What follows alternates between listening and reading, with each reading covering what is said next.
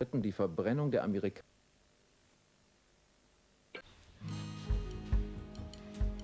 What is up my beautiful mates of YouTube? My name is Aussie Marcel and in today's video I'm going to be doing top 5 entry level dark fragrances for men and I'll also be having some honorable mentions. So what makes a dark fragrance? In my opinion a dark fragrance is something that gives someone an edge and an air of mysteriousness. It, it gives people a mystique that they otherwise wouldn't have. Typically, you're going to find out in the wild, out in the public, people wearing fresh scents, blue scents, scents that are designed to give people the maximum amount of compliments while smelling good. A dark fragrance isn't going to get you immediate compliments. It isn't going to be beloved by everybody that walks past you or works with you. These are fragrances that, although they have a fan base, there are a lot of men and women and theys and thems out there that love the smell of dark scents. These are scents that you're going to wear for you. That's the power of a dark fragrance. So with that in mind, let's start with my honorable mentions. And you cannot do a dark fragrance list without mentioning the king of dark scents. And that is, well, the king of designer dark scents. John Varvatos Dark Rebel, this one is a good mix of dark notes, leather, a sweet resinous amber note, touch of tobacco, a few aromatic notes. It's dense, dark, mysterious, and you'll often find people adding this to their dark fragrances, the bad boy fragrance lists, and for good reason. It's a very mature scent. There aren't going to be a lot of people under the age of 25 that are going to love the way this one smells.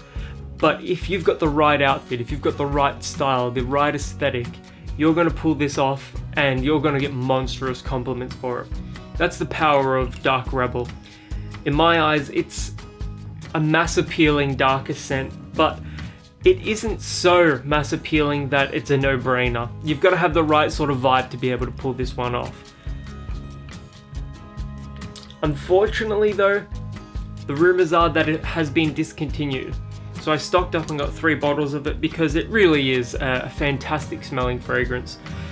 If you can find it at any price at all, pick it up. Performance is solid, although it could be better if it were an eau de parfum.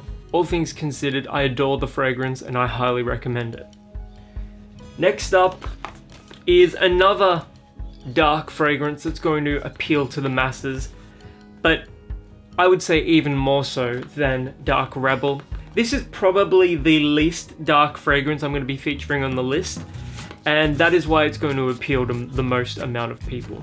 And that is Hugo Boss Bottled Night.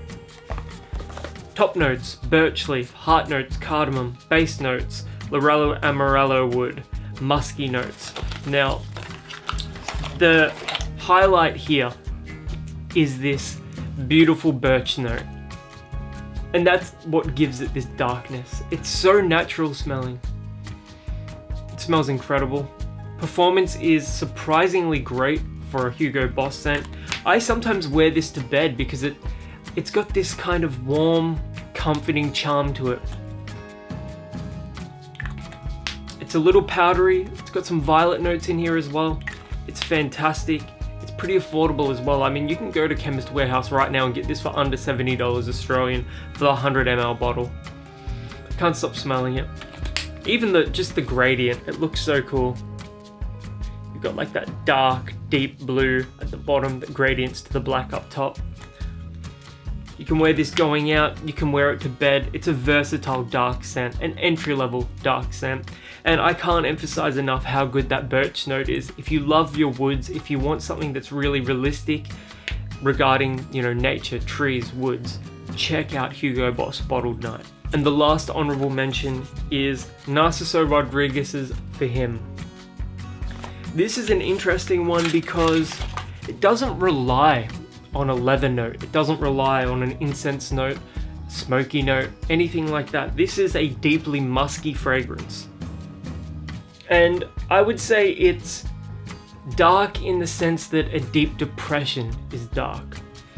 It exists in shades of grey with woody notes, aromatic green notes, and then that beautiful heart of musk. If you could attribute a colour to a fragrance like this, So imagine you've got a blue fragrance that's a little aquatic, it's a little aromatic. You've got a green fragrance that that's natural and smells like plants. Then this is truly much like the bottle itself, a deep shade of grey. It almost reminds me of rain on the pavement. If you're after something that's evocative of the rain on the hot summer pavement, terrible breakup or something, maybe this is going to be the fragrance for you. It is an incredibly performative fragrance. However, it doesn't project like a monster after about two hours, but it will stay on your skin for a significant amount of time. You can find it for around about the $100 Australian mark. And if you're after a very unique scent, a dark scent that is grey and evocative of all sorts of melancholy and depressive notes, maybe that doesn't sound appealing at all to you. But if it does, I would definitely check this one out.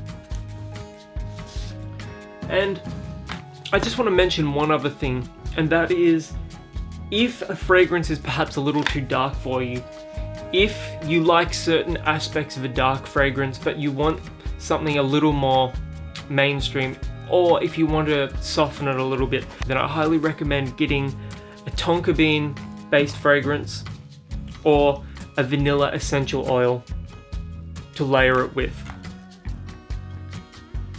This is a vanilla fragrance oil, so you make your own perfumes out of this.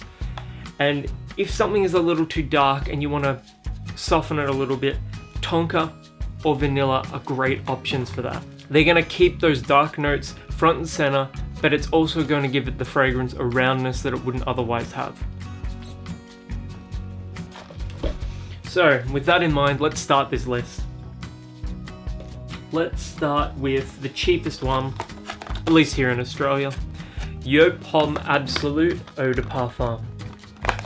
The most underrated, the most criminally underrated Yeux fragrance. Originally, I was a little underwhelmed by it, but as I've lived with it a little bit, as I've worn it a few more times, I have grown to appreciate this more than more than pretty much any other Yeux fragrance. This has a note of vanilla. It's got a pepper vibe, and it's also got this soft incense note. Now, the note of incense generally isn't presented as softly as it is here. So that is why I like to refer to this one as a fresh dark scent. That fresh incense note, very rare, very uncommon. And the vanilla helps to soften it. This makes Yeux Pomme Absolute an amazing entry level dark fragrance because of that softness and roundness from that soft incense note and the vanilla. I highly recommend this one. On sale, you can pick this one up at Priceline for $50. Uh, I hope this is, I hope this hasn't been discontinued because it's a remarkably underrated fragrance. Performance is pretty solid too, at about 8 hours. Next up, we're going Middle Eastern with Arab Tradition by Nabil. This is a good fragrance because it is a clone of Tom Ford's Tuscan Leather. What have we got here? Tester strip. Oh, it's got a fragrance on it. Hmm, I can't remember what I sprayed on this, but it's pretty nice.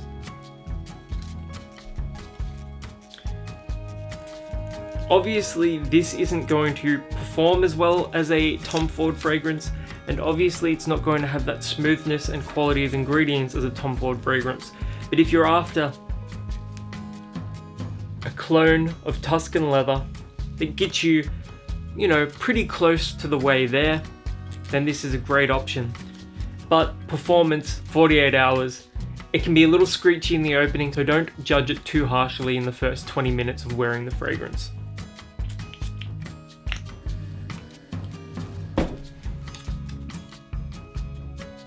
You get that fruitiness, that almost raspberry quality up top. And you get that smokiness and that leatheriness as well.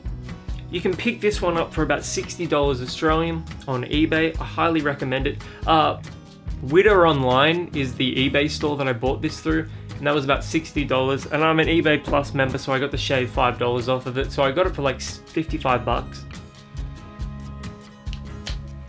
People, there's going to be a certain amount of people that are going to dislike the way this one smells just because of that screechy, harsh opening. But once you let that settle a bit, you're left with a very leathery, smoky, and raspberry forward scent. Now, Tuscan leather is a much smoother experience and it has less of that screechy, smoky quality, but this is still, you know, it's close to Tuscan leather. And it's, you know, you're not paying $400 for it, so there is that as well. I recommend this, it's a very solid entry level dark fragrance. In fact, it may even be a, tier above entry level just because of the screechy opening. It does have that sort of Middle Eastern power to it, which some people absolutely love. Either way, it's a great scent.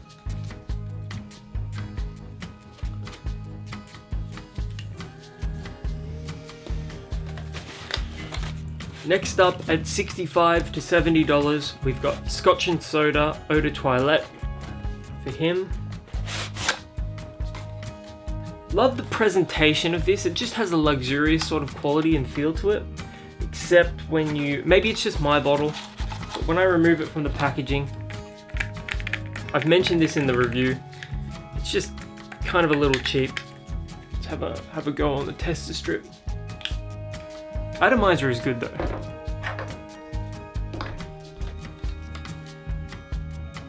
Now, this is a very interesting fragrance because reminds me a little bit of a more aromatic Dior Fahrenheit. Not quite as floral, it's got a punchier, more peppery opening, but it has that sort of almost gasoline quality to it. And it's like $40 cheaper than Dior Fahrenheit, $50 cheaper than Dior Fahrenheit, so there is that as well. It's got this darkness, but it's also rounded out by a smooth vanilla note as its slight as it starts to dry down. Smells incredible. Performs pretty solidly as well at about 9 hours. Yeah, there's a smoothness to this one, and it's, it doesn't have a sharp quality to it, but that gasoline note in the opening really makes this one interesting. Um, I really hope you get the chance to try this one out because I was a little critical of it when I first tried it, but as I've worn it a couple of times since I reviewed it, I've I've started to appreciate it quite a bit more. It smells pretty damn nice. It's got that entry level dark quality that you're probably looking for. It will smell better on your skin, so if if you're not impressed with it on a tester strip, try it on your hand. Anyways, Scotch and Soda for men.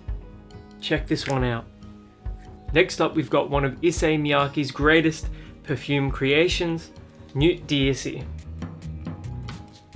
This has a very strong and immediate incense note. Very smoky, very sophisticated, very mature. But if you let it dry a little on your skin or on the tester strip, it really makes this vanilla quality stand out, rounds it out, warms it out. There's also a note of amber. You almost get an ambergris kind of feel to it. It's a very dark fragrance, very underrated in the fragrance community. And you can find it in Australia for under $100. I've been pretty lucky and fortunate in that I've been able to find this on clearance uh, multiple times, multiple occasions from Priceline for anywhere between 30 and $40. So I've, I think I've got like three bottles of this as well. Just because a fragrance like this is never going to have the popularity of a Dior Sauvage. It's never going to have the popularity of a Bleu de Chanel or, you know, some sort of highly mass appealing blue scent like that. Nuit d'Issey is a, an entirely different beast. The smokiness is really just to die for, and if you can find it, I highly recommend the Parfum as well. That ramps up that vanilla note, it ramps up that warm quality to it. This is just an ultra performative, exceptionally dark fragrance, whilst not being so dark that a beginner couldn't wear it. And last but not least, for about 75 to $80 Australian, you've got how could you make a list like this without mentioning this? Encre Noir by Lalique. If you want something that goes in a boozier direction, go a la extreme.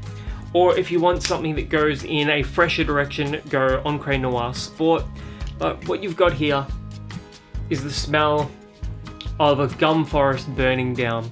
Now I live in an area of Australia where we've experienced bushfires on many occasions.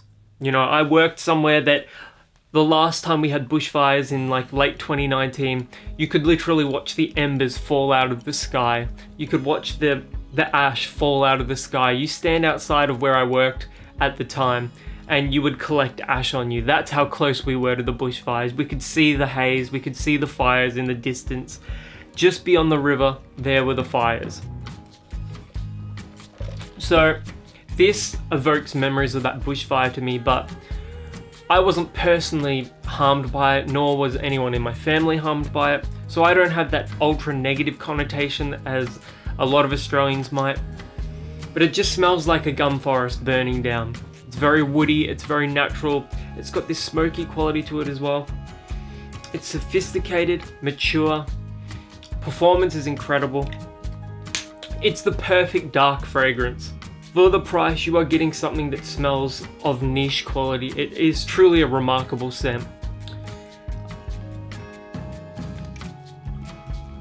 There aren't a lot of shops that stock this, so you'll probably have to buy it online from somewhere like eBay. But definitely check this one out if you're after a naturally woody, green, smoky fragrance. It's the pinnacle of dark scents, similar to Dark Rebel. But yeah, these are some dark fragrances that I highly recommend. I know this video has run a little long. If you've ever worn any of these fragrances before, let me know in the comments below. I can't wait to hear from you guys. And until the next video, my name is Aussie Marcel, and I'll catch you guys around.